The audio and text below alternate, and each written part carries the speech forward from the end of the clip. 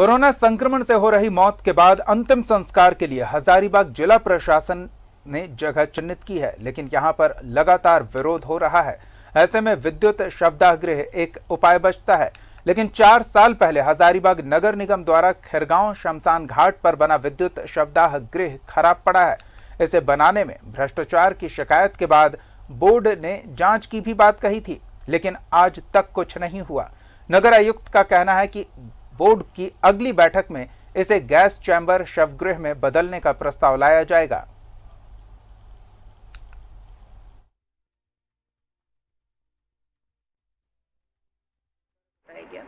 तो हम लोगों ने फिर रांची म्यूनिसिपल कमीशन में बात करके वहाँ के थ्रू एक दिल्ली की एजेंसी है, उनको भी बुलवाया था कल।